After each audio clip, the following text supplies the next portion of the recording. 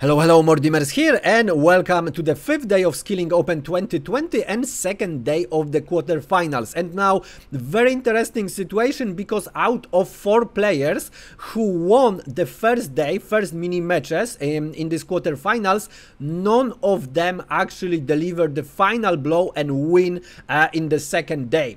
We needed uh, three tie breaks and two Armageddons to actually see the four uh, semi-finalists so this was very interesting situation and I will show you uh, all the brackets, all the scores, what just happened in the quarterfinals at the end of this video. So uh, check it out, stay until the end if you are interested. And also I would like to show you now one of the games, decisive games. And Levon Aronian, who's gonna play as white, plays against Jan Nepomniachtchi, who's gonna play as black because a lot of commentators said this is probably the weirdest position, chess position in the chess history. I'm not sure about that. However, it was definitely the weirdest I've ever seen uh, in my life. And I, uh, you know, already analyzed a lot of games. So this is definitely a very, very interesting. So without further ado, let's see what happened um, on the board.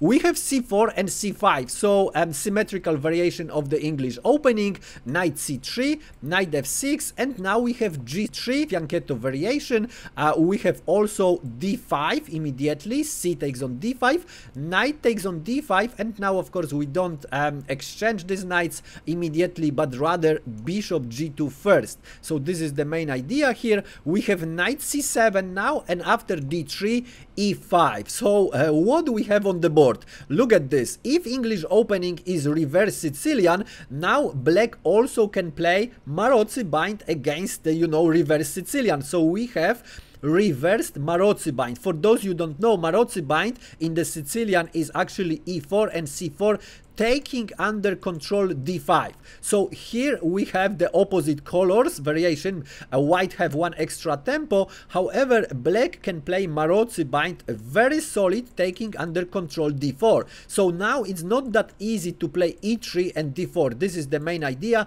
And if you are looking for the Maroczy bind as as white is very easy to actually find the all ideas. But against English opening uh, you go for the Rubinstein variation. Uh, so Rubinstein variation with this Fianchetto variation and Rubinstein uh, variation with this reverse Maroczy bind. It's uh, it's it's a bit of headache with the theory, but this is where you look for the information. Uh, now we have Bishop e3, the main idea, Bishop e7, Rook c1, uh, and now Knight e6. So this knight uh, want to of course jump to the d4, very natural square uh, for the knight.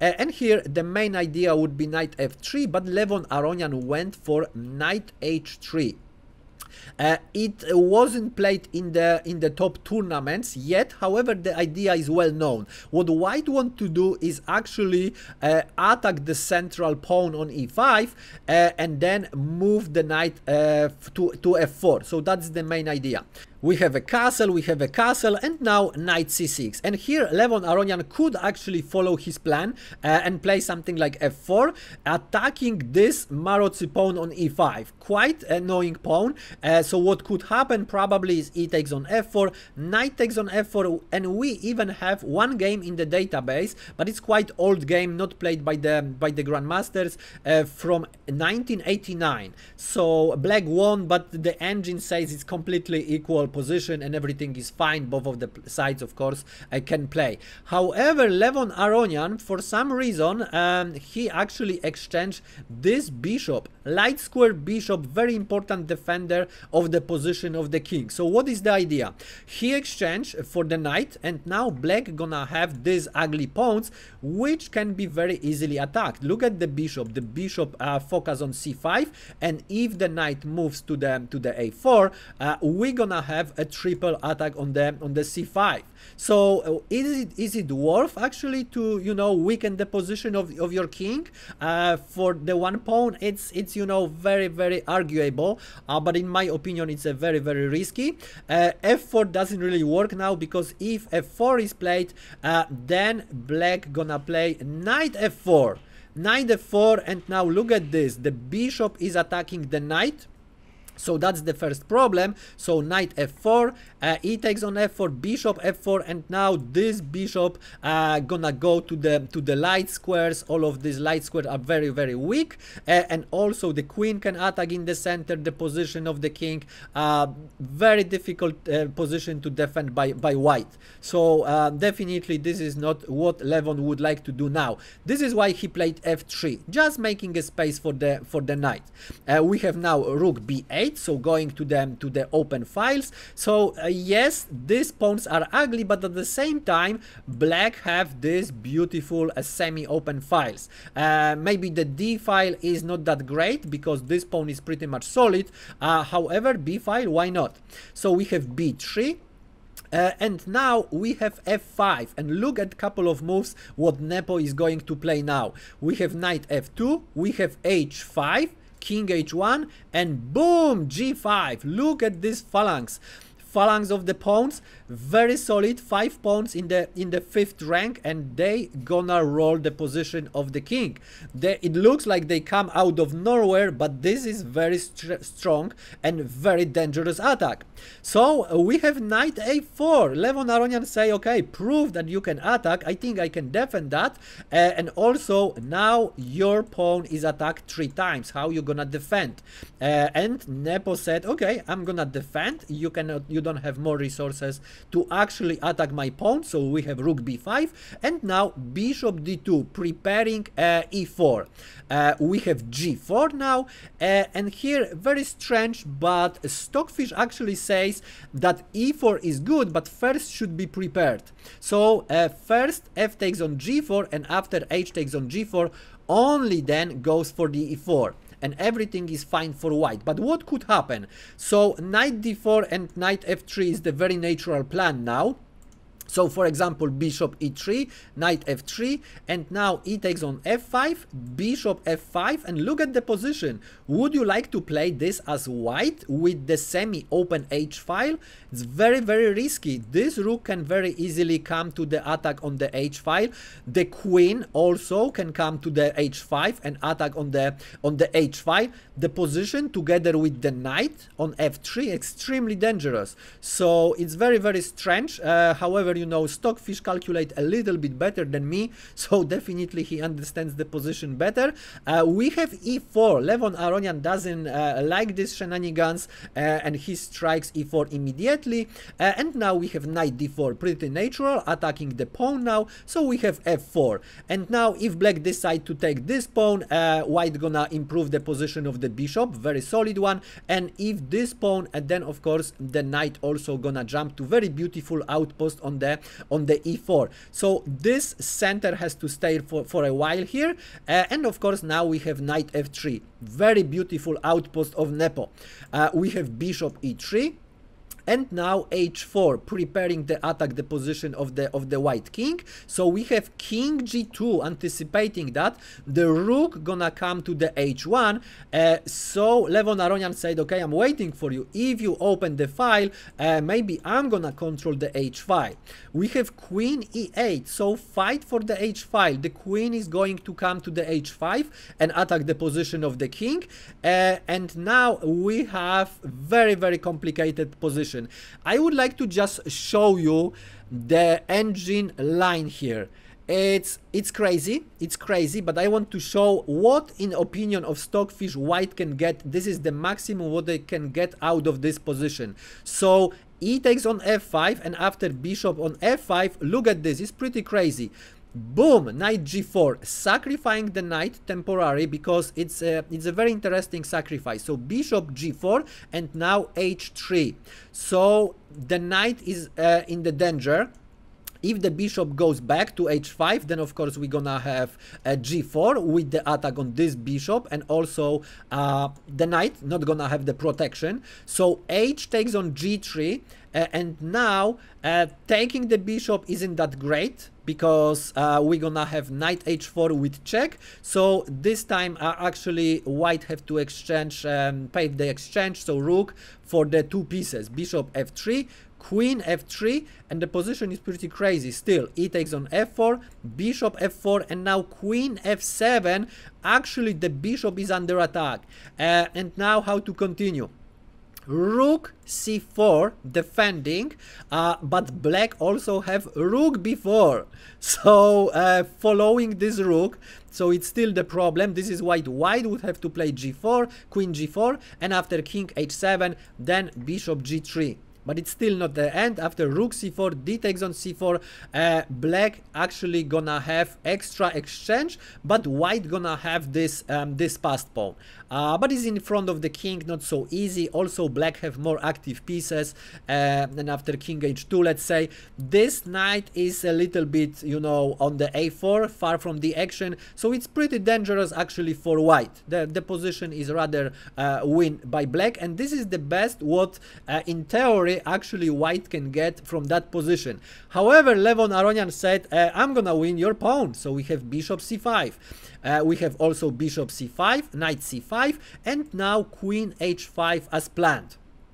So already it starts to be very interesting. We have rook h1 uh, getting with the rook ready on the h file. So of course exchanging here isn't that great. This is why we have e takes on f4. Now attacking the pawn on the g3 twice. So we have g takes on f4. Now it's not possible to attack the pawn on the g3. Uh, but now we have h3 and what to play. If you go uh, with the king uh, to, to g3, we're gonna have a checkmate here. So that's not possible. This is why we have king f1. And now f takes on e4, knight c2 e4 and it looks like white already consolidated the position. It's, it's a very, very solid. However, the rook is, is pretty ugly on the h1. So how to bring the rook to the game, that's gonna be uh, another topic. We have rook f4 and the position starts to be really, really crazy. Rook c6. Look at the position of the king. is completely exposed here. We have bishop b7 attacking the rook. And now instead of rook c7, we have boom, rook f6 attacking the rook from behind. And the point is that the rook cannot take it because we're gonna win the queen. Very beautiful fork. So that's not possible. This is why Nepo in this position play rook b to f5. And look at this. This is one of the weirdest positions ever.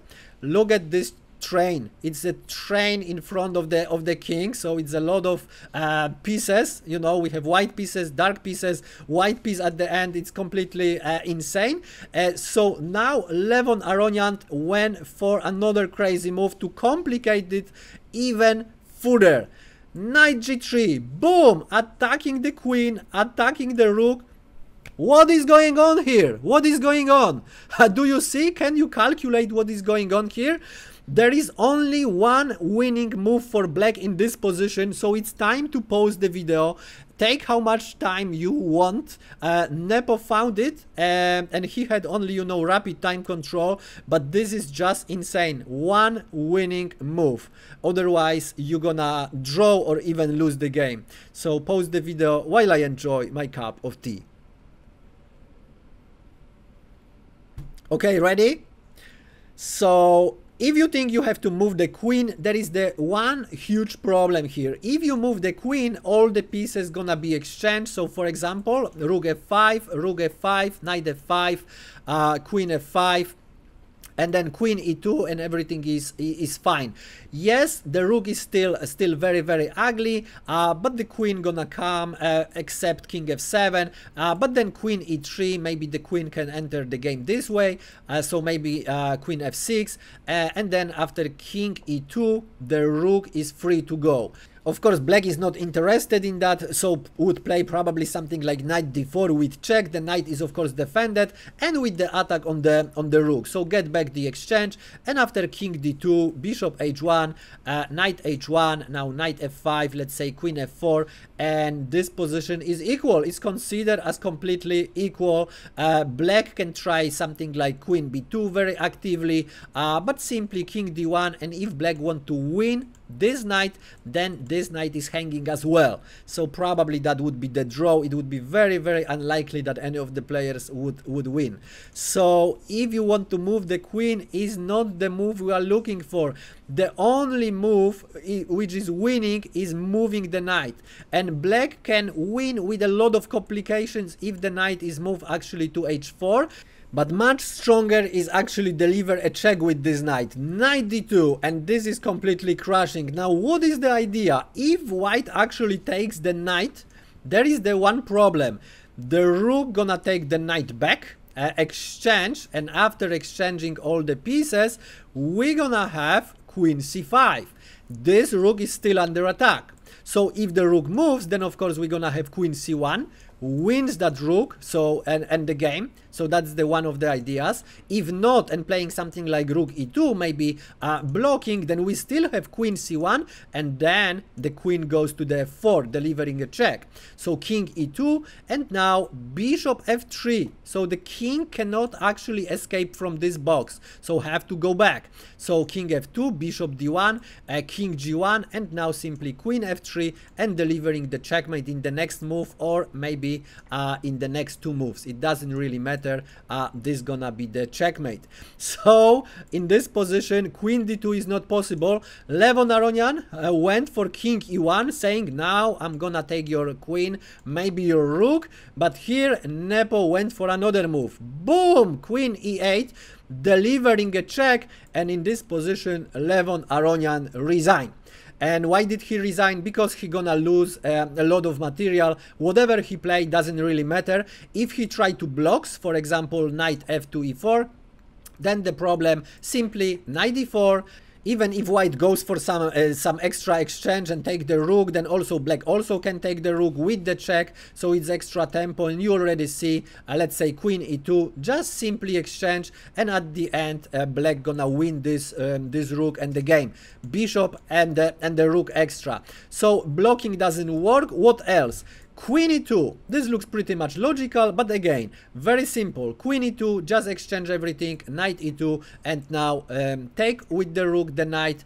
Um, this rook has to be exchanged, so rook f5, rook f5, so this rook cannot be taken. And again, we have um, extra rook and, and winning the game, even if the even the rook is under attack, and if the rook moves to the to the f1, is gonna be taken by the by the knight, and so on. Uh, even if rook goes to g1, we still have this fork.